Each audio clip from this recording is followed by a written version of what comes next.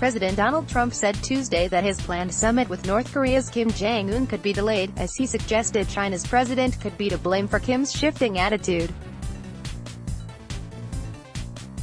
It may not work out for June 12, Trump said his summit with Kim may not work out for June 12, meeting with South Korean President Moon Jae-in. Trump told reporters he noticed a change in Kim Jong-un's attitude after the North Korean leader met with Chinese President Xi Jinping a second time. Calling Xi a world-class poker player. Trump said he thought things changed after the meeting. I can't say that I'm happy about it, Trump said. Trump said of the Kim summit, if it doesn't happen, maybe it will happen later. North Korea has said it might cancel the summit if the U.S. insists Kim's regime gives up nuclear weapons. Also read, South Koreans say Bolton to blame for hiccup in North Korea talks. And see, North Korea cannot play. President Trump Mike Pence assures Fox News. Getty Images President Donald Trump welcomes South Korean President Moon Jae-in to the White House on Tuesday. Trump, not really, pleased with China trade talks Trump was asked in the Oval Office if he was happy with how U.S.-China trade talks were going. Not really, he replied.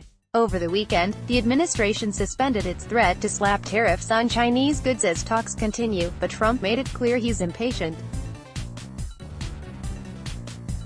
We have a long way to go, Trump said. We are looking to go quickly.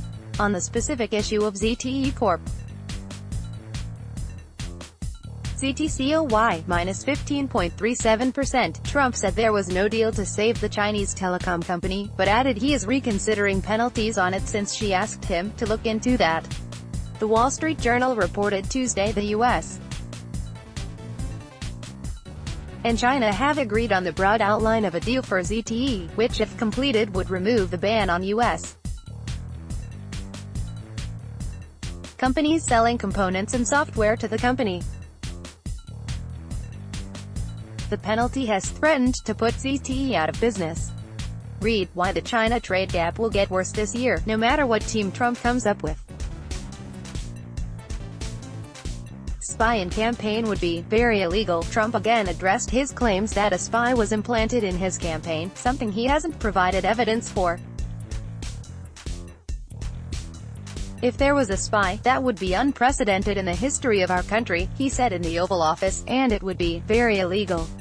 On May 17, Trump tweeted, Word seems to be coming out the FBI spied on the Trump campaign with an embedded informant. Deputy Attorney General Rod Rosenstein has directed the Justice Department to investigate Trump's claims. Trump today, President meets with Deputy AG, FBI Director after demand to investigate campaign surveillance.